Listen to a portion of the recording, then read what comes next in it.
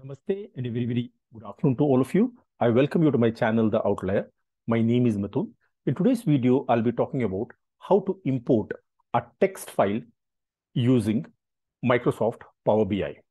Even before I proceed to demonstrate how to import a text file into Power BI, may I request you to subscribe to my channel, also like and share my videos. Firstly, what you're seeing in front of you is the interface of Power BI. You can see here, this is the data section. In the data section, the first button here is the get data button. When you hover the mouse on top of get data, Power BI displays the description of this particular button. It says it helps you connect to data from multiple sources. So we will be using the get data button that is present in Power BI to access a text file. Even before I proceed to demonstrate how it works, let me show you the source file. This is the source file which I want to import into Power BI desktop. As you can see here, the name of the file is customer data. The first row here consists of the variable names. There are different variables like age of the customer, marital status, the number of years that he is spending at the current address, what's his income, income category, car, car category, so on and so forth. When we are working on a text file, we need to be slightly careful. Unlike a Excel file, which is very, very easy to import, here we need to make two important observations.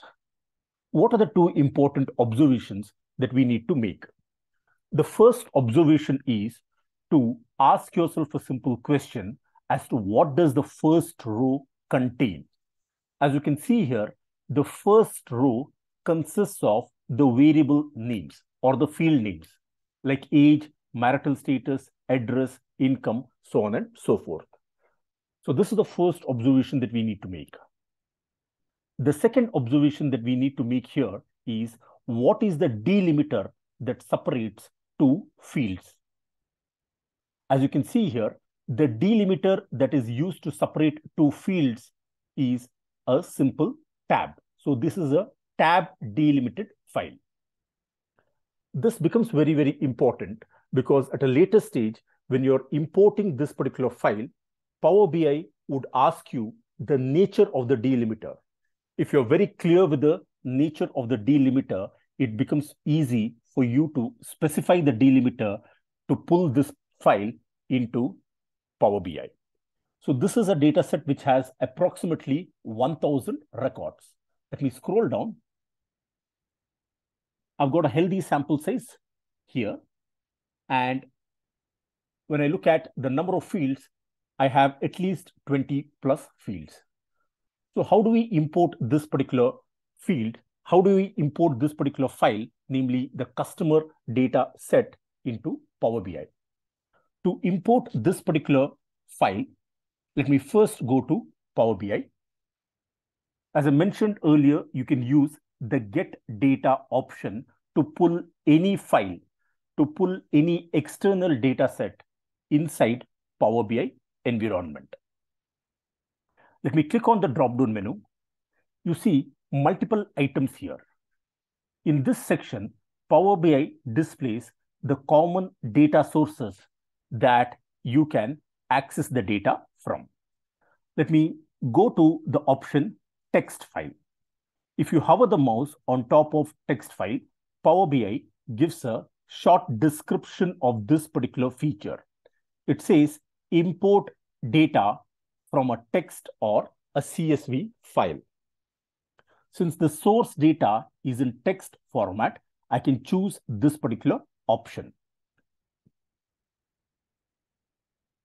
Once you click on this particular option, you can see here, there is a new window, which is called as the open window.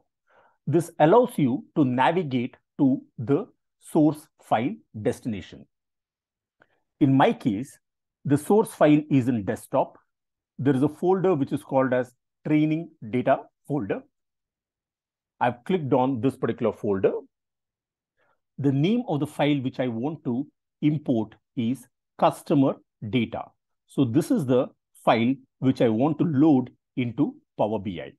Once you specify the file name, you can go ahead and click on the option open.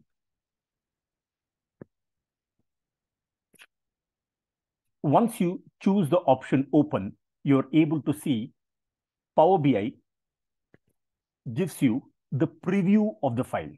So this is the preview of the file. You can see here, you have the option of file origin, delimiter, and data type detection based on the first 200 rows. So what Power BI has done is it has scanned through the first 200 rows and it has identified that this is a tab delimiter file. You can click on the drop-down menu. In case your source file has any other delimiter like colon or comma or equal sign, you can specify the appropriate delimiter. In this particular case, I would go with the default option of a tab delimited file. These are the field names, age, marital status, address, income, so on and so forth. And the data is present from the first row onwards. You can see here at the bottom right-hand side corner, there are three options. One is load, second one is transform the data, and the third one is clean. You can choose the transform data in case you want to clean the data, remove the null cases, or in case you want to rename the variable. However, that is beyond the scope of this particular video. I'd go ahead and simply click on the load button.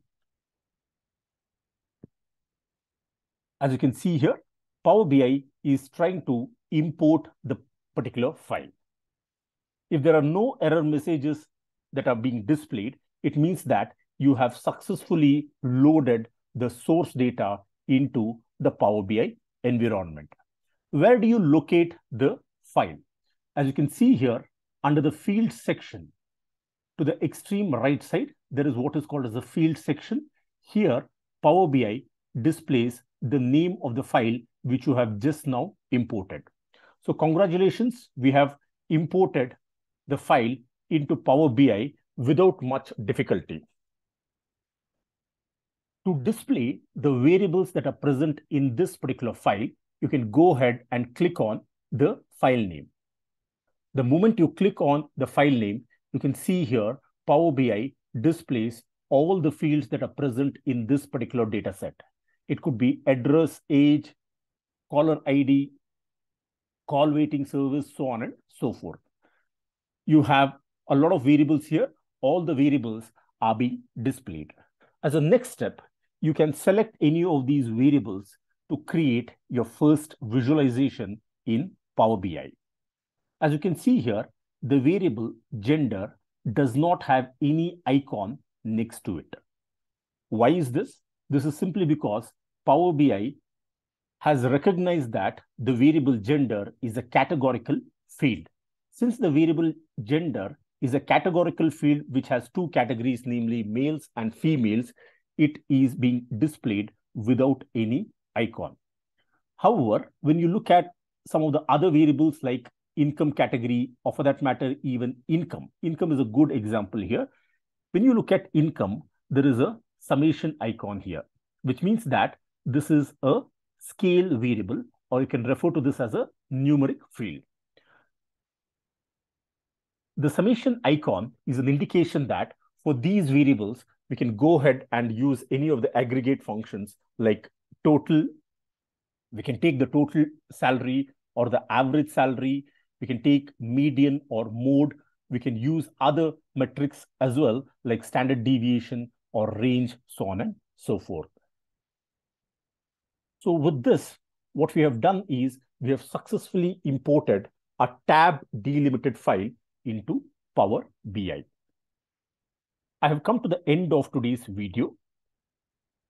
I request you to subscribe to my channel, also like and share my videos. Thank you very much for watching this particular video. Have a great day ahead.